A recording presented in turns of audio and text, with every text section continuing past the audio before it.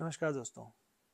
आज मैं बात करने वाला हूँ ध्यान की उपयोगिता के बारे में, जो कि एक आयुर्वेद डॉक्टर के लिए कितना ज़रूरी है। समझते हैं इसको बहुत आसानी से।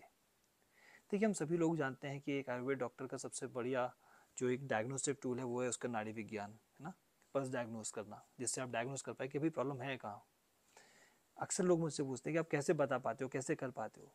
मैं उसके लिए एक ही बात बोलता हूँ कि देखिए, ध्यान करना बहुत ज़्यादा ज़रूरी है, क्योंकि यहाँ सारी बात हो रही है चेतना की। एक रोगी या एक पेशेंट जब आपके पास आता है तो आपके दिमाग में बहुत सारी चीज़ें होती है, उसको ये होगा होगा लेकिन मैं हमेशा सब जूनियर्स को, सारे फेलो डॉक्टर्स को एक ही बार बोलता हूँ, आप इनोसेंटली पेशेंट को देखो। आप जितना इनोसेंटली देखोगे, उतनी ज़्यादा आपको इन्फॉर्मेशन मिल पाएगी। और ध्यान के बारे में आज इसलिए बात करना, आज ये मेरा विषय ध्यान का इसलिए है, क्योंकि जब आप ध्यान करते हैं तो आपकी चेतना, जो आपकी कॉन्शियसनेस वो बहुत ज़्यादा अवेकन हो जाती है, बहुत ज़्यादा स्ट्रांग हो जाती है, आपके परसेप्शंस इंप्रूव होने लगते हैं। इसलिए ध्यान बहुत ज़्यादा ज़रूरी है। प्योरिटी बहुत ज़्यादा ज़रूरी है काम में। देखिए, मान लीजिए कोई डॉक, कोई पेशेंट आया आपके पास में, आपने उसकी पल्स देखी तो जब आप उसके टच करते हैं ना, अपना कम टच करें, हम पूछते तो है नहीं, नाड़ी को टच करते हैं ऐसे। जब हम टच करते हैं तो बेसिकली होता है आपकी चेतना, आपकी कॉन्शियसनेस उस पेशेंट की चेतना से जुड़ जाती है। बहुत इंपॉर्टेंट उसको समझिएगा।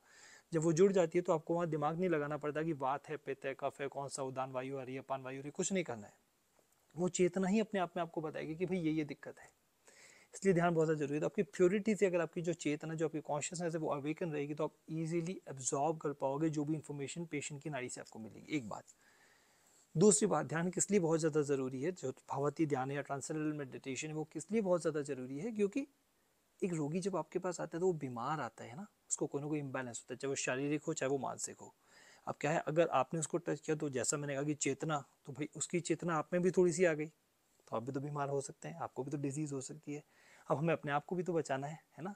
इसके लिए भी ध्यान बहुत ज़्यादा ज़रूरी है। जब आप ध्यान करते हैं, भगवती ध्यान करते हैं ट्रांसडेंटल मेडिटेशन करते हैं सो आपकी चेतना बहुत ज़्यादा विकसित हो जाती है प्लस आपकी और आपकी स्ट्रेंथ बहुत अच्छी बन जाती है। और जब वो स्ट्रेंथ अच्छी बन जाती है तो छोटे मोटी जो ये इम्बैलेंसेज होते हैं, या मान लीजिए किसी का स्ट्रेस ही आपके ऊपर इम्पोज हो गया तो उससे आप इसीलिए बच ईजिली बच सकते हैं। तो अपने आप को बचाने के लिए भी ध्यान ज़रूरी है, और दूसरे को सही से डायग्नोस करने के लिए भी ध्यान ज़रूरी है। और तीसरा, जैसा कि मैंने सबसे इम्पोर्टेंट बोला जब आप ध्यान करते हैं तो आप शांत हो जाते हैं।